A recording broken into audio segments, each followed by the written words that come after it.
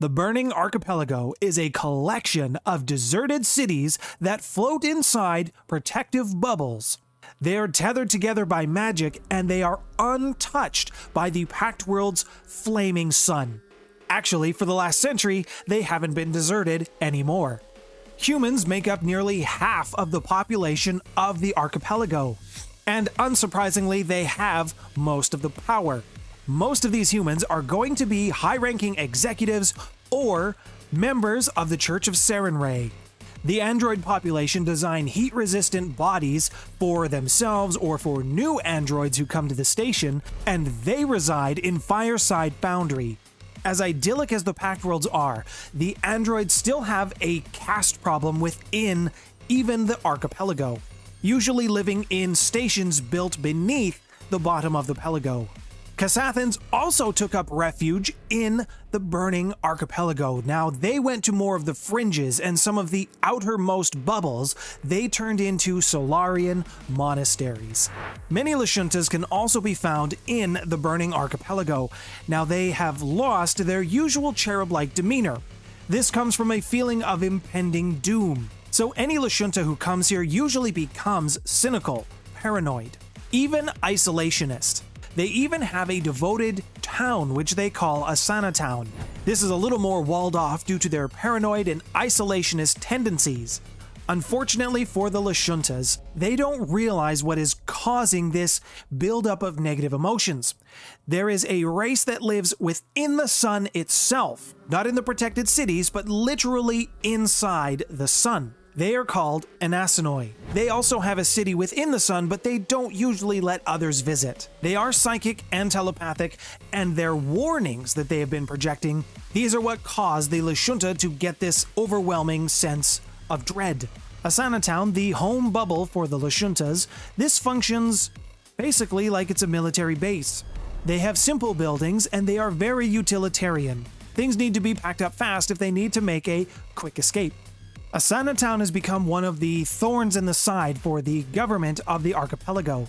When corporations or governments are trying to do some kind of initiative, whether it's harmless or actually has some impact to the archipelago as a whole, the Lashuntas here will become unreasonably irate.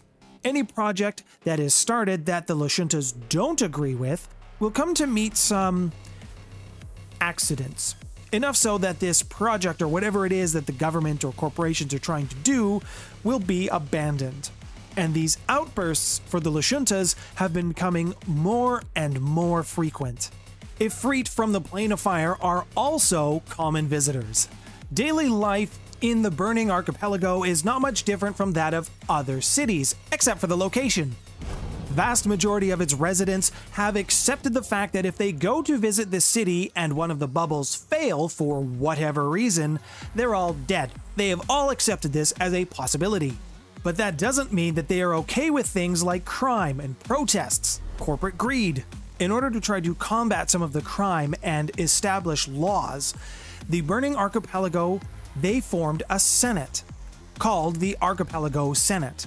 The way it works is each city within its own bubble is its own entity. They set their own rules, they set their own laws, even though they're all located in generally the same spot. Each representative then looks at the archipelago as a whole and they form laws to try to govern all of the cities together rather than a specific bubble or a specific region in the burning archipelago. Very rarely will the Senate step in and intervene on a city's behalf or a jurisdiction's behalf, and usually when this happens, it's a political crap show. Guilds and organizations are also permitted to speak at these meetings. Because the Burning Archipelago is so busy trying to govern themselves, they don't busy themselves with the politics of the Pact Worlds. And the Pact Worlds, they consider them to be part of it, but they have non voting membership. As we've mentioned, the Burning Archipelago has bubbles and there is a city inside each of these bubbles. And these cities are actually built on a disk that sort of floats inside the bubble.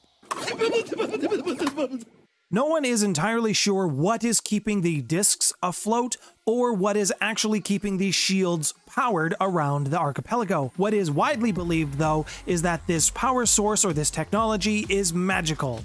These bubbles also protect the people inside from the extreme heat, the radiation, as well as the incredible brightness.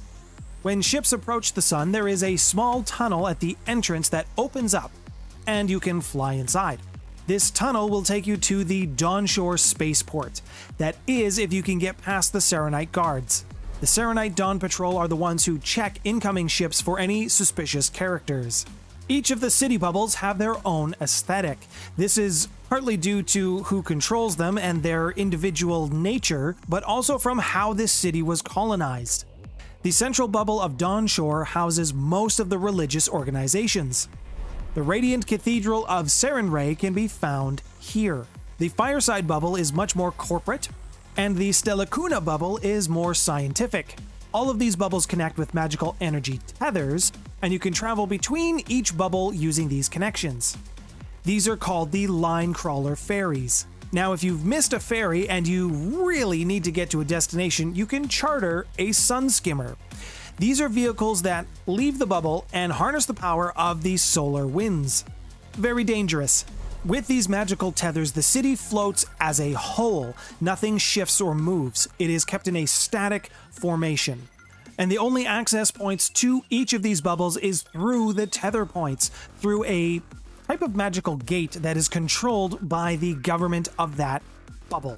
Now, before I tell you how this city was discovered, if you wouldn't mind doing a favor for me and hitting that like button if you enjoyed this video, and if you want to get more Starfinder content from myself, then please hit subscribe with the bell notification.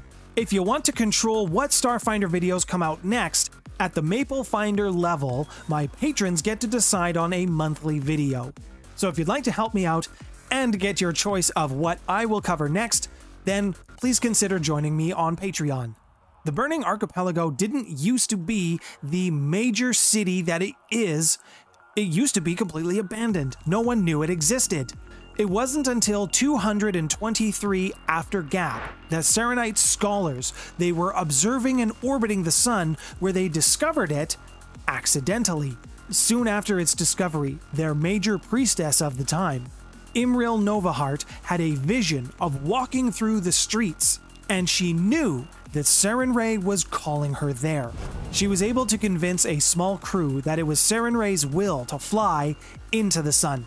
As they got closer and closer to the sun, one by one, critical systems, engines, computers, even the glass across the bridge, it all started to collapse or break. These ships were just not designed for the intense heat and the gravity of flying into a sun. Just when they thought all was lost and they were about to come face to face with Sarenrae, a tunnel opened up in the sun and they flew in to what is now known as the Dawnshore. Sister Novaheart gave a inspiring speech to the Pact Worlds, letting them know of the discovery of the city in the sun. She claimed and named the Radiant Cathedral found within Dawnshore, and this triggered a mass immigration to the archipelago. It is still not known who built the city and why, or even why it was completely abandoned.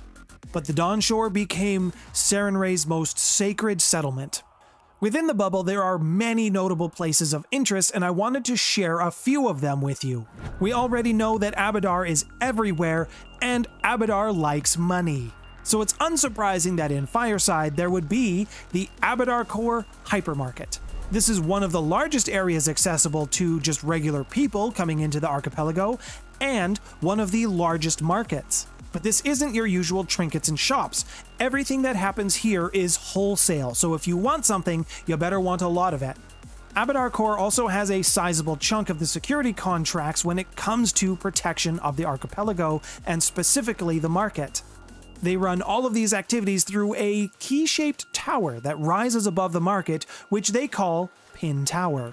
With Dawnshore being the main place that you will land, it is unsurprising that there is a Dawnshore spaceport, and it is the largest port of entry to Dawnshore, but this is also basically the only way you can get in or out. Tons of mechanical bays, facilities for repairing your ships, tubes for launching yourself out back into the sun. Or away from the sun, hopefully. Dawnshore is known for its talented mechanics. It is also known for pickpockets and thieves, so pay attention to your stuff when you go into Dawnshore. On the other side of the sun from the burning archipelago, there is a starship sized portal. Referred to as Far Portal, it opens to a particularly dangerous and inhospitable region of the Plane of Fire. There have been some scientific expeditions gone through the portal, not much has come of them, and a permanent research station has been established near the portal. So far, no planar beings or planar objects have come out of the portal, but the research station has been picking up some increased strange signals coming from the portal. The Verdeon bubble is a paradise. It's a bit of a break from the metal and the solar flames that you see within the rest of the archipelago. Horticulture is the main aspect of this bubble. They like plants. You can also find a number of pleasure domes here, ranging from high end casinos to spas. All of these things are located in Verdeon. Most of the pleasure domes, and there are several of them, they are controlled by small crime families. They were able to sneak their way in during the establishment of the cities. And we have to talk about one of the main draws to the Burning Archipelago the Radiant Cathedral. Many of the Sarenites believe that this cathedral was built by Seren Sarenrae herself. When the Sarenites claimed the temple, they found that they had to make little to no adjustments to make it a perfect place of worship. And they used this as proof that this area, this cathedral, was built by Sarenrae. Within the stained glass windows of the cathedral, there are strange writings, symbols that no one has been able to decipher. Some believe this to be the secret language of the Dawnflower. Others believe that this tells the story of the original builders of the archipelago. Due to the size of the cathedral, the Sarenites have installed some Aeries, places where sun skimmers can park their skimmers at the top of the cathedral. They serve to maintain the building and some of the Sarenites' proprietary technologies. While it is used for this purpose, the pilots of the sun skimmers have created an unofficial bar at the top of the church. They call this affectionately Aurora. And you know they're going to brag about the things that they've done, times that they've almost died, the stunts that they've pulled. And what better way to do that than throwing back a few beers? If you would like to learn a little bit more about the Pact Worlds, then please check the playlist on your screen now.